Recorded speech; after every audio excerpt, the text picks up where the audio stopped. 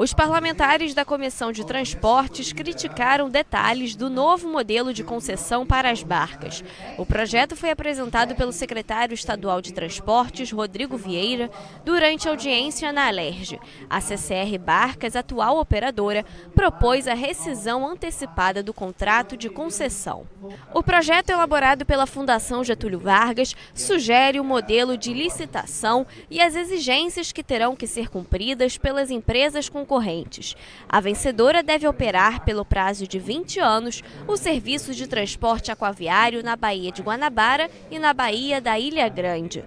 Entre as sugestões estão a manutenção da atual tarifa, a revisão a cada cinco anos e maneiras para garantir o equilíbrio econômico e financeiro. Hoje, custos, demanda, tudo isso é passado para a tarifa. Tá? E por isso que você às vezes calcula uma tarifa que é impraticável.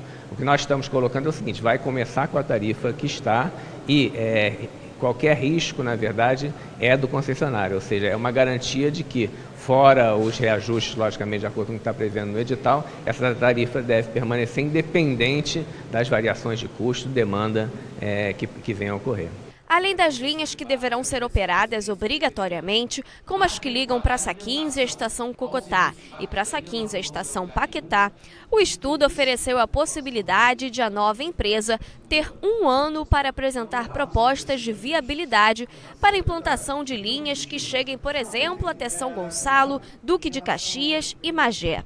O prazo não foi apoiado pelos parlamentares, que pediram mais transparência e objetividade no futuro modelo de concessão. A gente defende que não pode haver licitação sem haver uma série de outras audiências públicas. Nós não aceitamos nenhuma licitação que não inclua outras linhas, como a linha de São Gonçalo. A linha de São Gonçalo vai ligar a população do segundo município mais populoso do estado direto ao do Rio de Janeiro.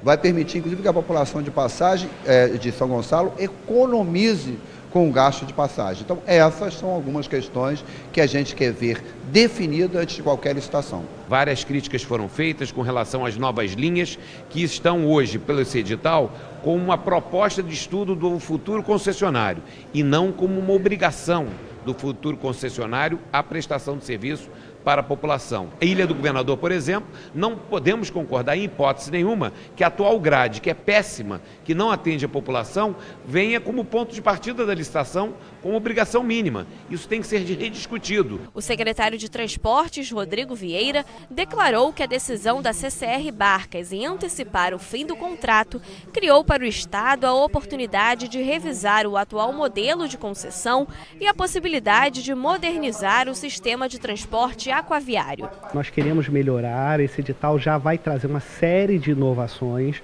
tá, que para fazer com que nós iniciemos um novo ciclo virtuoso no transporte aquaviário no Rio de Janeiro, na Baía de Guanabara e na Baía de Ilha Grande, porque nós já temos o quarto maior volume de passageiros transportados no meio aquaviário no mundo e nós queremos melhorar isso ainda mais. Nossa meta interna é de estarmos preparados para lançar o procedimento licitatório em 60 dias, mas isso é uma meta interna e nós temos que não podemos perder de vista as sugestões que estão sendo colocadas aqui. O presidente da comissão, deputado Marcelo Simão, vai encaminhar ao secretário de Transportes do Estado um ofício com as reivindicações apresentadas pelos parlamentares durante a audiência pública. Todos estão muito preocupados, além da comissão de transportes, outros deputados de outras comissões estiveram aqui presentes e cada um com uma reivindicação. Então eu pedi para cada um deputado desse, em um prazo de 10 dias, os deputados os vereadores presentes, secretários de outros municípios, todos eles, tá, no prazo de 10 dias, mandar um ofício para a minha comissão de transporte, que eu vou encaminhar na íntegra para o secretário, e dentro de todos esses pedidos, a comissão também vai se reunir, vai fazer um ofício com as reivindicações, vamos marcar uma nova audiência pública para ver se essas reivindicações vão poder ser atendidas. Se não forem atendidas, aí nós vamos tomar novas medidas. Né? E vamos também fazer uma audiência pública com a CCR Barcas, para saber qual o motivo que elas estão saindo.